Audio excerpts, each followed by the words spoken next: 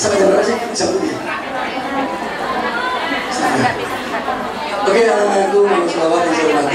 Alhamdulillah, ya Alhamdulillah. Ini kita mau selesai Pak, cepat. Oke, sampai jam tiga selesai.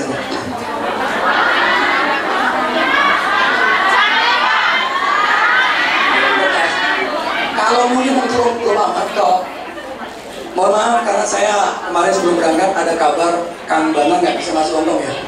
Sehingga Abah sangat berhati-hati sehingga tidak sempat bawa kalung kesehatan, kalung tasbih yang banyak cuma bawa 30 Pak. Ini mungkin pengenalan yang belum paham ini. Kan sebenarnya kalung, kalung ini sebenarnya Anda pernah kenal gelang kesehatan ya? Kalung kesehatan, hampir sama. Ini fungsinya untuk detox, detox apa?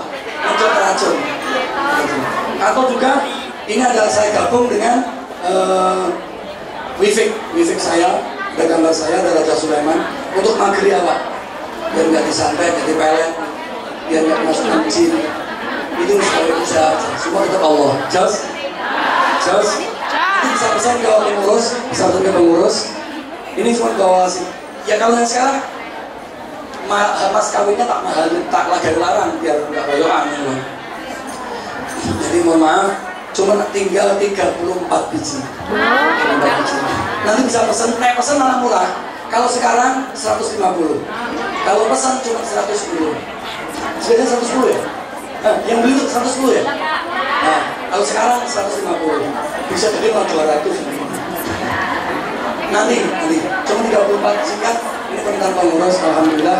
Oke, kita baca Alhamdulillah. Alhamdulillahirabbil Sehat? Alhamdulillah. Sehat? Semangat? Alhamdulillah. Ojo ngocok jauh, kok jauh. Cosan. Jadi Sayyidina Umar bin Khattab itu punya kebiasaan kalau turun dari masjid habis jamaah subuh dia keliling ke pasar dulu.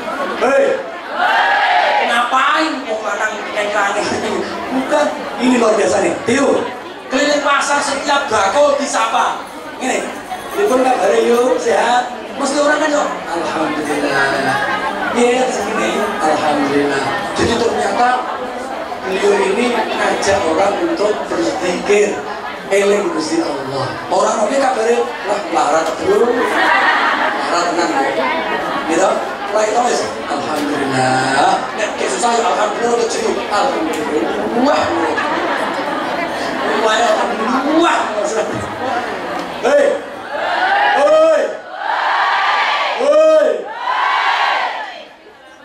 sehat?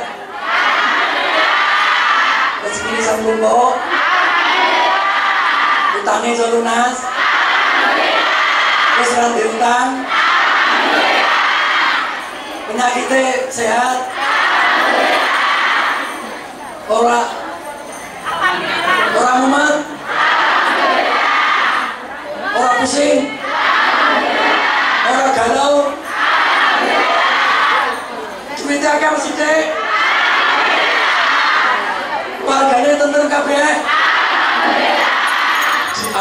Alhamdulillah terselip sebuah angin kebahagiaan yang sebenarnya.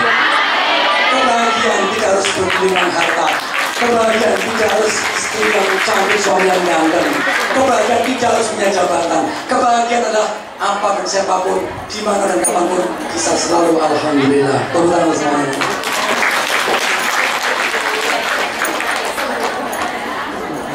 nanti pesan aja cuma 110 lagi 150 woi woi bersujud kepada Allah. Bersyukur sepanjang waktu. Setiap nafasku seluruh hidupku